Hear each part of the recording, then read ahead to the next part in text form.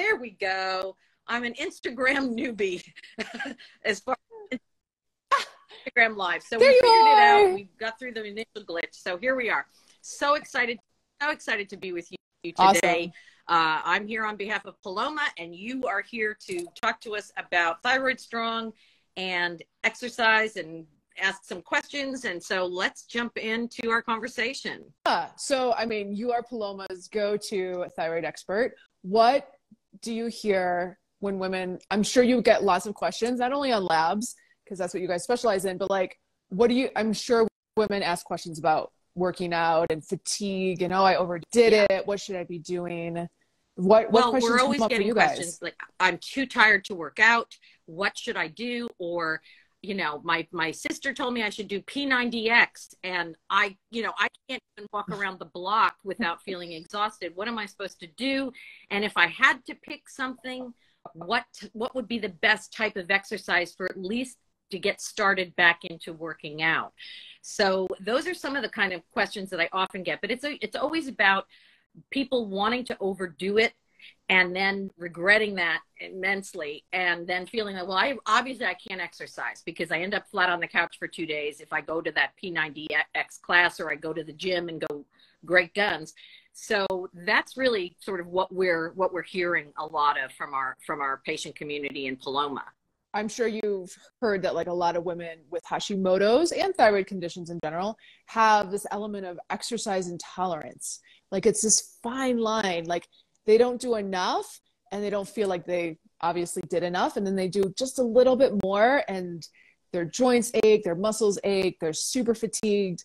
They feel like they're on the couch under their weighted blanket and they can't get off the couch for sometimes a couple days. And this is very real. A lot of women are like, I don't get it. My friends can go on a hour hike and I can do Yeah. like 20 minutes and then I'm tanked out. exactly um, the other thing Yeah. that i hear is, is also Yeah. that people um, uh, they have muscle and joint aches and pains you know because that's really common with hashimoto's and in some in many cases if you're hypothyroid and you're not optimally treated or you're you're just getting back into things you know you, you just what would not flatten anyone else is going to leave you achy and sore and in pain for days so uh, i think thyroid patients really need to get some guidelines on how to gently work their way into working out so that they feel energized. Because if you end up feeling exhausted, that's not a good sign because that means you're pushing your adrenals too hard and you're really not going to end up feeling like the exercise is actually making you feel more energetic and vital rather than debilitating you more.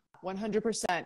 And the most common recommendation for women with hypothyroidism and Hashimoto's is low impact exercise, yoga, Pilates, stretching, walking.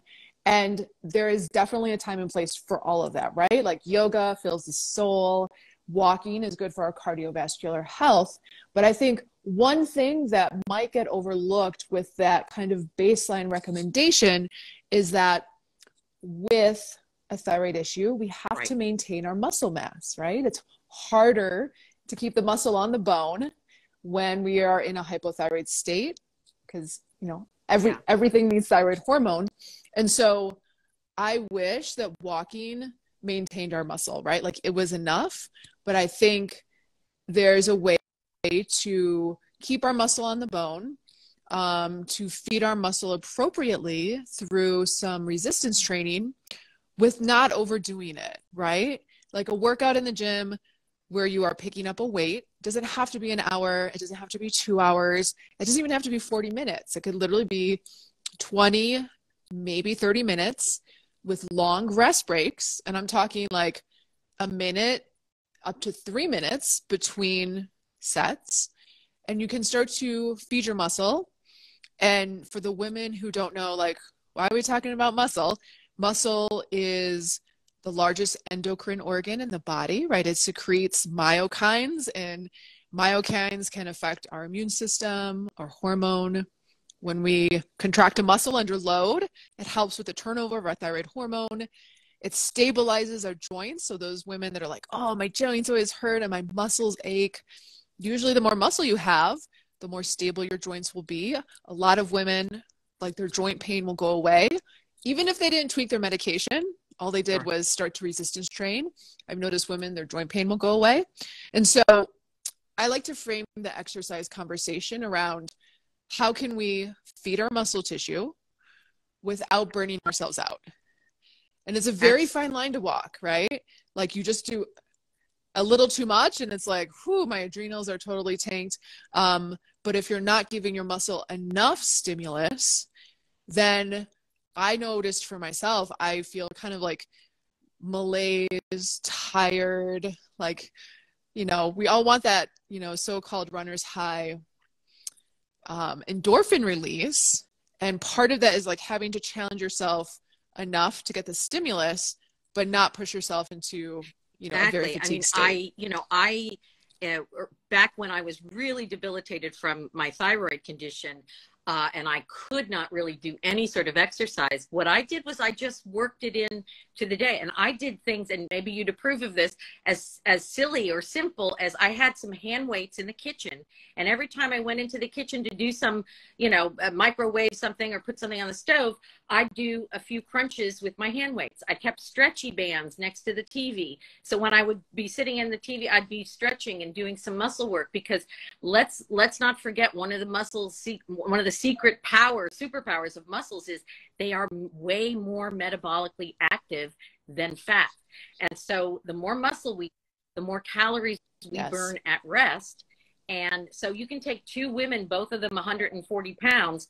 The one who's got a lot more muscle is going to be able to eat a lot more and not gain weight uh, or eat a healthy diet and be losing weight if that's what her goal is compared to a woman who's the same exact weight but has much more higher percentage of body fat so muscle is also it's it's part of our uh, fitness regimen for uh, being fit and losing weight or maintaining our health a healthy weight as well 100%. I was trying to think the other day, and I'd be curious your thoughts.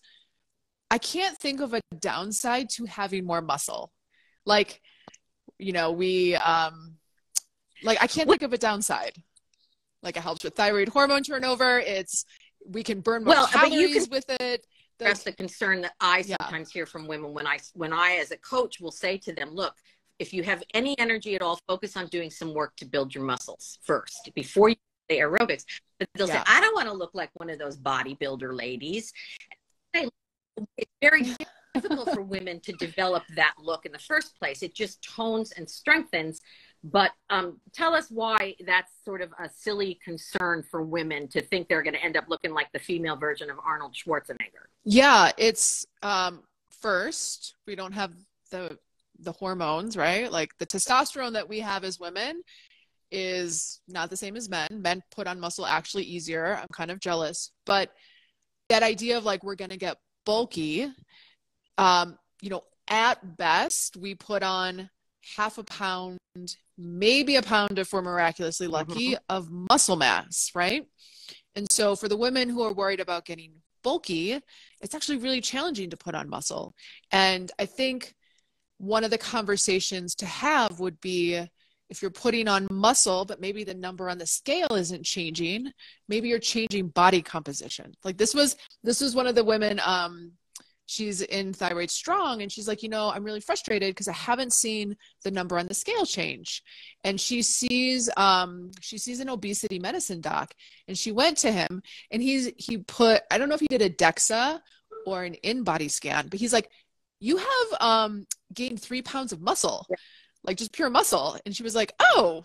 She's like maybe that's why the the number on the scale hasn't changed because i was i'm like muscle weighs more weighs more than fat our goal is to change the body composition you know change the ratio of muscle to fat um, versus like the number on the scale and she was actually she was she went from frustration to like oh i'm Well- really proud of myself Free. I always But- tell women don't yeah. focus, especially when you first start doing any kind of working uh, with muscle building. Don't focus on the number on the scale. Focus on how you fit in those. How do you Yeah. look? And how does your body feel? I mean, everyone with a thyroid problem knows that feeling of walking up the stairs and feeling like your legs are lead balloons. And when you start doing Mm, like Mm, just yeah. even basic working out in your with the muscles in your legs all of a sudden you're walking up the stairs and you're like wow, my legs feel lighter. They feel like more flexible. I just feel more energetic moving around. And, you know, and when you are not stretching those pants to try to tighten the button and, you know, zip them up and you're like, oh, wait a minute, everything's fitting a little bit better. I'm feeling a little bit more, you know, tight in my clothes. I mean, when you actually start to look at those factors, those are the first things you start to see. Those are the benefits you want to look for um, I always tell people like, don't even go on a scale. Go on once a month or you know whatever, just to see if you're making any progress from that standpoint. But that replacement of fat with muscle is so profound as far as your body shape and how you feel and how you look. Yeah, 100%. And I always like to frame what I do health wise, like how I eat, how I work out, even starting to dig into, you know, environmental load factors from an energy perspective. And I know fatigue and gaining weight are like the two biggest struggles but i believe like if you get the energy piece right like you're not going to have to be like trying to find the motivation to work out you're going to have the energy to do it versus if you go at it from like oh i got to lose the fat i got to lose weight you know i got to that it's like such a depriving state it's like restricting depriving whereas you focus on like oh i'm going to feed my muscle tissue i'm going to eat my optimal protein. I'm going to resistance train three times a week for 20 minutes, maybe 30 minutes. It's this enhancing. It's not such a like a torturous ride trying to like find right. you know find the number so right. change or lose fat yeah yeah so i know it's a big struggle this weight loss aspect so i always love talking about fatigue but women keep emailing me like should I do intermittent fasting? Should I be keto? Should I do this and I do this? And I was like, why don't we just make it really simple and actionable? And we're just going to talk about if you want to lose weight with Hashimoto's, let's talk about it from a food perspective, um, from an exercise perspective, and then start to dabble in like an environmental load perspective, which I think conventional right. medicine might not address as much. Like if you have mold exposure, water damage, or parasites, that can affect you know how you're holding weight so i put together a master class it starts monday uh, it's monday wednesday thursday and it's just going to break each one of those down in very simple terms where you could literally take action the next morning and one of the things i recommend is like start your day with protein and i have had that like that like nothing else like don't increase your steps don't touch your kettlebell and women are like i have so much energy I don't crush it too. Like I get these DMs all the time and I'm like, you know, that one simple change is so powerful and it's yeah. easy to implement. You know, it doesn't feel um, like it weighs you down. So it's like your star Melanie mentioned, she goes, the more protein I have in my diet, the smaller yeah. my waist size gets. Like, I, that's I mean, amazing. I, I, yeah. My thyroid struggle, but you know, starting the day with a bowl of oatmeal or cereal was just a disaster for me because not, I'm hungry 20 minutes later, oh, yeah. my blood uh, sugar is going through the roof. And, you know, but if I eat uh, a couple of eggs uh, and, you know, a little bit of avocado and maybe a small piece of fruit, I mean, I'll feel full for hours and I'll have a lot more energy. And I won't get that hour later feeling of really being logy and tired and fuzzy and brain fogged. And we know that, you know, through with the Hashimoto's patients, they're, we're often sensitive to grains, uh, which are the high carb foods, not the high protein foods. And so the more we can get to whole foods, to proteins, to good fats, to healthy fruits and vegetables, nuts, seeds, that type of thing, and away from this, you know, pasta and bread and cereal sort of a focused uh, approach that a lot of Americans are eating, not only is that helpful for our weight loss, but on a bigger picture, it's helpful for energy, inflammation, and our autoimmune disease as well. So there's a it's a win-win proposition to to take that approach. Yeah, I was very much like the croissant and yep. coffee, like coffee and croissant in the morning. It was very like very New York, and um, and then I would I would see patients all day, and my schedule would be so busy. I'd be like, I don't need to eat lunch. I'll just skip lunch, and then I would have like a piece of salmon and broccoli at night, and I was like, why am I exhausted? Why do I feel like I need a nap at 2 p.m.? Why is my mood like this? Like I feel like a crazy person, that I'm tired, that I'm, you know? And so I think little dial movers, little changes that you can make in how you're eating, how you're working out and also how you're sleeping. I'd say those are like the big three. And then you can start to dive into like, Mm-hmm. is there something else going on? You know, I think people like to focus on like, should I be taking LDN or should I not? Or it's like, well, how are you sleeping? How are you eating? How are you working out? Get the those the foundation right, and then start Exactly. to explore all those and of course options. we always want to Um, make sure with anyone with a thyroid problem if they've uh, if their thyroid isn't functioning anymore or it's atrophied due to hashimoto's or there's you know hypothyroidism has set in over a long-standing basis the baseline is also always making sure that the thyroid is treated when necessary we've got to get that thyroid into the healthy range 100%. from the standpoint with you know e- e- external medications when necessary and you know that's what what paloma is doing. But then you know once you've gotten yourself optimal or into the into a good place on the thyroid medicine what's next? And that's where these factors that you're talking about in your masterclass come in where we're talking about what can we do with our our diet our nutrition our exercise our environmental factors. Um, and yeah i mean one of one of the things i've always laughed about with with patients when i've talked to them is you know don't tell me that you're tired as a thyroid patient and then tell me you only sleep six hours a night you know i mean that's, that's Yeah. yeah. enough you know like if you're getting seven or eight hours a night and you're still tired after a while then let's talk about that as a continuing lingering symptom but some of these lingering symptoms that people are attributing to their thyroid are in fact lifestyle issues that they need to address right out of the gate before they start looking for well i need a drug to stay awake no you don't you need to get eight hours of sleep a night and you know 100%. right? Yeah. 100%. Um all Morganic mentioned she goes, I stopped working out and my daily movement is walking a lot. My hypothyroid labs are the best they have been. Is walking okay to only do? So I think there's a time where a woman should focus on, mm-hmm. let's just say, low impact exercise, right? Going back to your point, like maybe their labs aren't optimized. Maybe they're swinging hyper to hypo. Maybe they're having incredible, you know, burning the candle at both ends and having some adrenal insufficiency. And maybe other stressors in life are not in check. And if you do, do go pick up a weight, it is just another stressor, right? But ideally, you would recover properly and get Right. enough sleep and do that baseline stuff. I th- think of those other things, especially if your thyroid labs are not in optimal range, it's very challenging to have the energy to do anything more. And um, maybe walking is it. But then if you feel better which is walking, I would start to explore like what else is going on so that one day you could reintegrate some resistance training. I, I personally don't think walking is enough. I think it's enough if your thyroid labs aren't optimized and you're, you know, stressed to the max and not sleeping. But if all those other factors are optimized, I don't think walking is enough to maintain your muscle tissue. It's great for cardiovascular health, but even the conventional guidelines are to do, I think it's like 150 to 160 minutes a week of where you're getting your heart rate up, resistance training. So, um, yeah. Here's um, um, Alex mentioned, she goes, um, some strength workout ideas for beginners.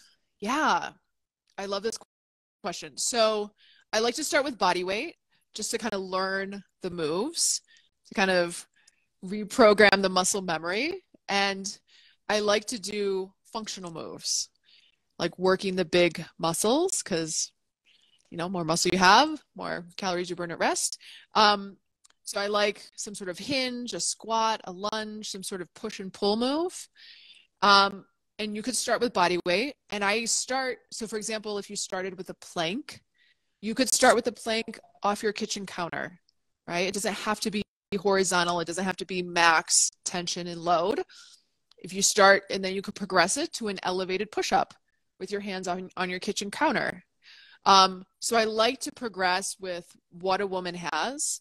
I like to start with body weight and then start to integrate weight, whether it's a kettlebell or a dumbbell. Um, but I think it's important to just always meet someone where they're at. So you could do some squats And if you have knees that are achy, you could squat to a chair and stand up. It doesn't have to be like, you know, butt to heels. It can just be tapping your butt to a chair and then standing back up and building tension in the body by squeezing the butt and squeezing the heels. Um, so that's typically where I start is like the functional moves with some modifications, get the form dialed in right, get the breathing dialed in right, get the core bracing properly, and then start well, to add weight. Yeah. And then it yeah. doesn't feel so scary because weights are scary, Making right? feel good yeah. because you know I I'm oftentimes when I'm in the kitchen I told you like I you know I've got kids I got family members I'm, I'm always in and out of the kitchen so that's kind of my place where I say all right that's where I have to sort of do my little fit in the fitness things as well as whatever else I'm doing during the day and so I'm often in the kitchen doing planks and push ups against the counter I mean if I'm standing if I'm I put a cup of tea Love on, the, or making something in the Keurig and I'm waiting for a coffee or something. I'll spend the two minutes doing push-ups against the counter. And I always thought, well, it's sort of lame, but maybe it helps a little. But what you're, what I'm hearing you say is it actually is a decent thing to incorporate into my day. Totally, 100%. And I think, you know, going back to this, this idea is like, is walking enough? It depends on your goal. If your goal is eventually to have more energy, eventually to start to change your body composition, which, you know, just be like, I want to lose weight. I personally think that like resistance training is a non negotiable. Because um, if you only walk, it's going to take way longer to boost your energy and to lose weight. It is faster if you're putting on more muscle. Going back to your point of it's like burning more calories at rest. So I love that you do countertop push-ups in the kitchen yeah, while you're putting yeah. on your and, tea. And, That's and the best. Stretchy bands, you know, with the I do I do various resistance exercise with the stretchy bands. I'll do some leg lifts and some uh, stretching the arms out. And the, I mean, because it's just they're easy, they're simple, they're they're they're sitting right there, and they're wonderful way to you know. And I I ended up counting it up one day, and I said, well, actually, I end up with maybe twenty or thirty minutes a day of these things. And I mean, hmm. tell me if I'm wrong because you're the expert on this. If even if it's 20 or 30 minutes broken up into three minute segments, it's still good, right? I mean, it, I don't have to do it all in a 30 minute session for to get the benefits all, all of the workout, correct? I talk about this all the time because sometimes even 20 minutes of resistance training is a lot, depending on, you know, if you have a, um, if you're someone who's like only gets 2000 steps a day and doesn't move a lot, right. 20 minutes is a lot. So I'll have someone break it up mm-hmm. into two 10 minute chunks. The muscle happens when we hit this perceived exertion of fatigue. Of if it was on a scale zero to 10, 10, like let's say you're doing your bicep curls, 10 is like, eh, I can't lift it, right? And zero is, you know, I could do 100 more of these you want to hit this like feeling by the last couple reps mm-hmm. Of like a 7 out of 10 maybe maybe 8 that's where the muscle growth happens. Another way to think about it is you're doing your your bicep curls in the kitchen right? And you're like maybe i have two more in the tank. If you're like oh i could do 10 more like you want to hit by the last couple reps that feeling yeah. of like oh i only have two more. So whether you get to that feeling for 10 minutes, broken up over two day, you know, two parts of your day for a total of 20, or you do it all in 20 minutes, it doesn't matter. It's the feeling that you're trying to hit. Fatigue, fatigue is always like a little different for the hashi ladies because we're like on the couch fatigued, but that perceived okay. perceived exertion.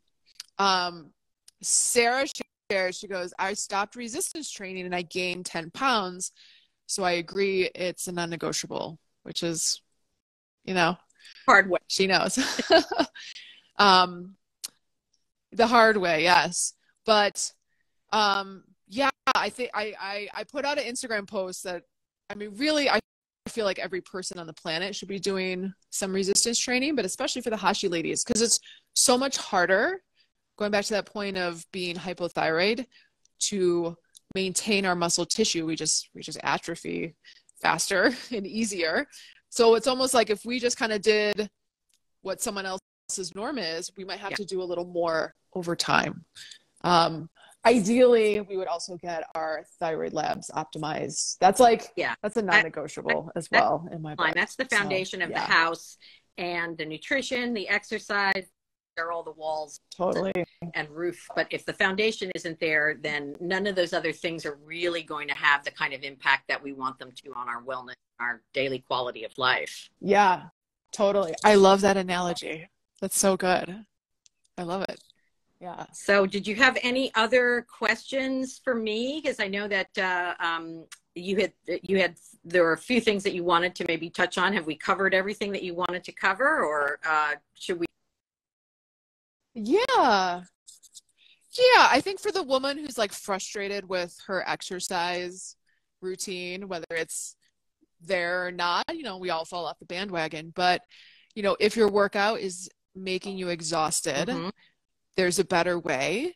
And if you're scared of working out, like if you're scared of picking up a weight, um, there are, you know, being a chiropractor who sees patients in person and everyone, if there was one cue to get everyone into the same good form, it would have been trademarked, but everyone responds differently to different cueing, right?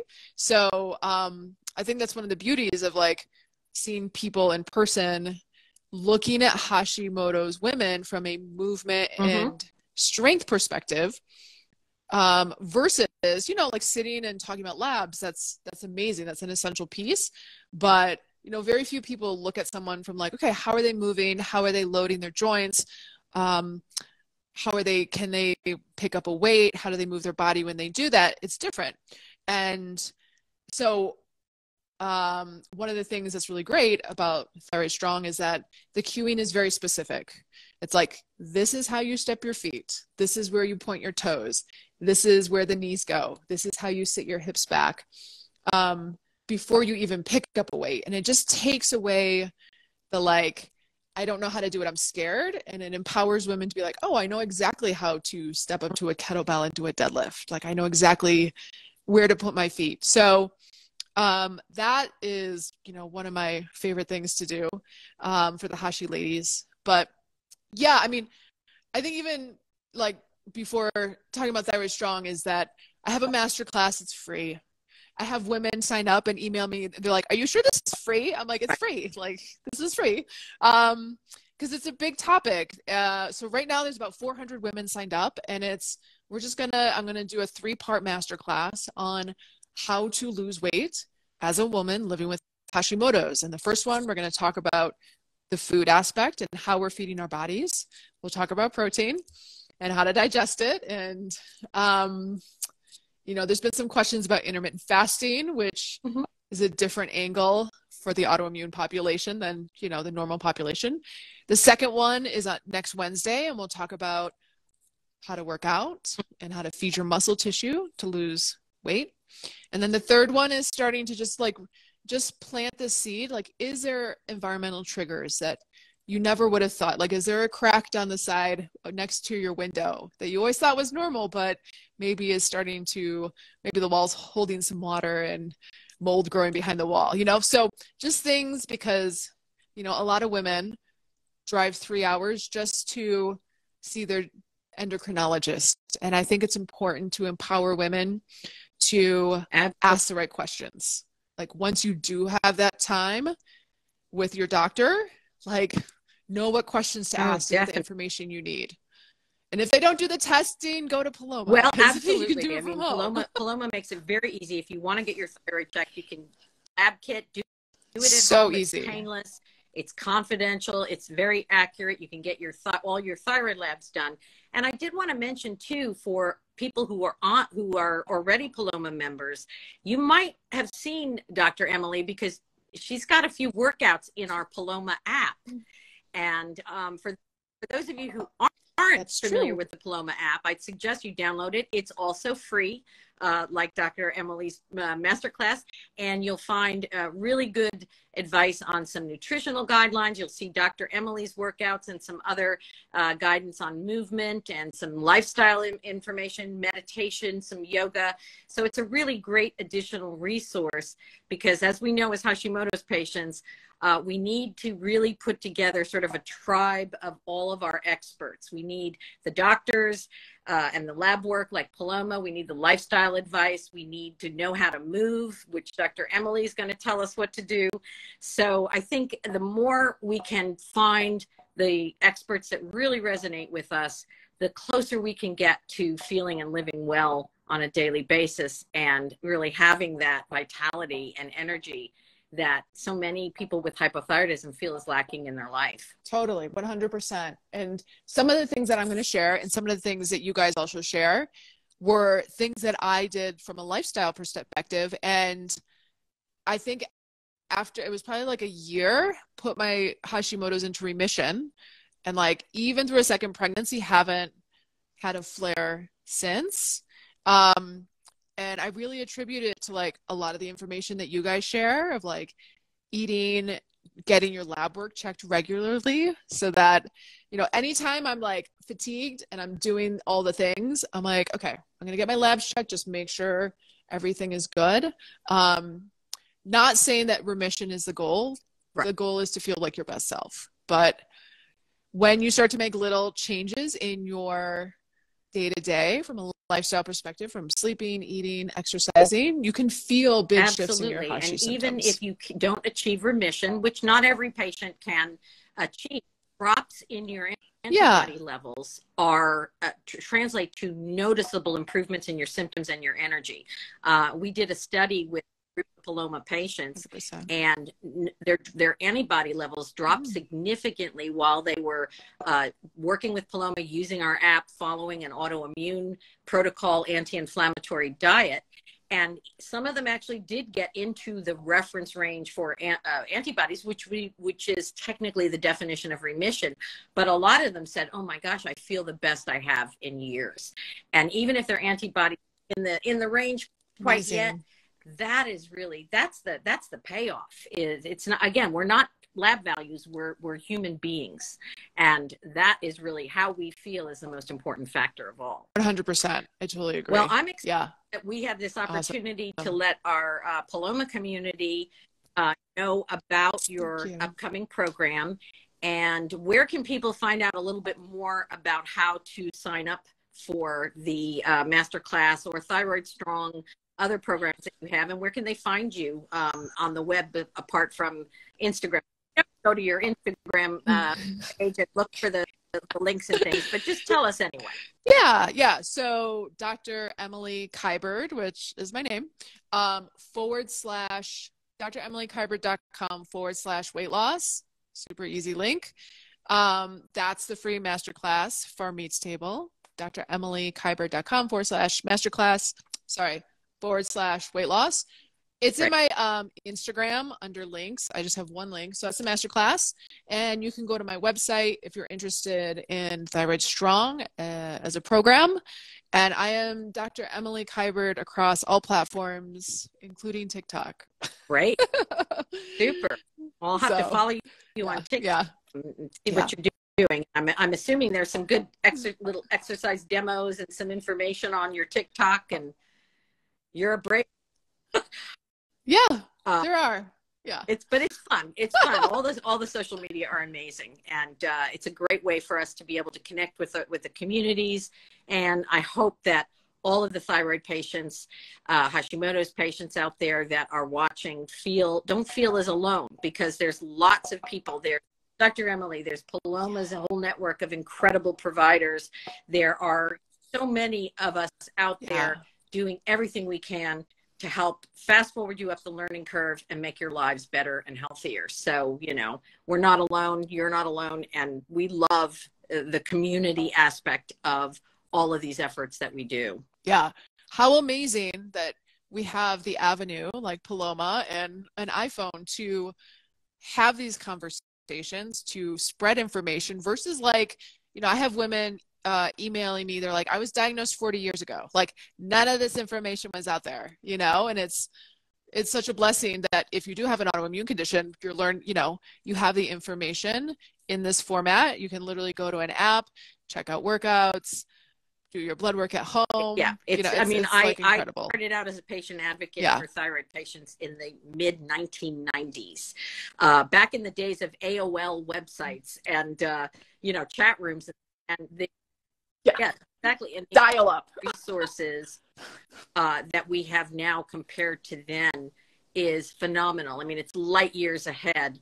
And but it you know it was the internet that really brought people together and empowered women with information because in the you know before then it was you got a thyroid problem take some medicine come back in a year and if you're gaining weight tired depressed fatigued brain fog menopausal pmsing so be it. That's the that's you know your lot in life. Now we have every possible resource and information at our fingertips. And um, i'm so excited that people are going to be made aware of your amazing program emily. And uh, hope you're going to have lots more people signing up to join you Yeah. and learn how to be thyroid strong and how to lose weight with hashimoto's and hypothyroidism. Yeah.